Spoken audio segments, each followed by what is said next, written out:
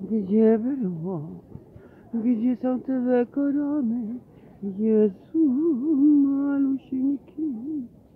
Proszę Państwa, no, druga Częstochowa. Witamy. Druga. Druga Częstochowa, no bo jesteśmy w sumie w Warszawie. W sumie w Warszawie, tam jakaś baba stara. Ruska. Skąd się to wzięło? Ruska baba. I zaczęła przeklinać.